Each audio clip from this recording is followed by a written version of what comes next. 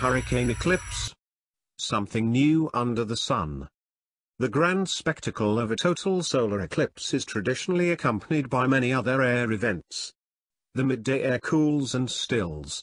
Birds stop singing and prepare for night.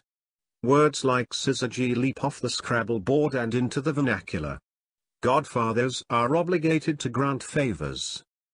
But this time, many sky watchers are wondering whether there will be an additional participant, or participants, in the cosmic dance. Will the shadow of the eclipse fall on tropical activity in the Atlantic Ocean? It may sound like the plot of a direct-to-airplane movie in which Z-list celebrities wield chainsaws. But there is a good chance that at least one tropical storm or hurricane will be within the region of 50% or more solar obscuration on Monday afternoon. Should this occur, it would be the first time an Atlantic tropical system has coincided with a total eclipse since the beginning of regular weather satellite imagery in 1966.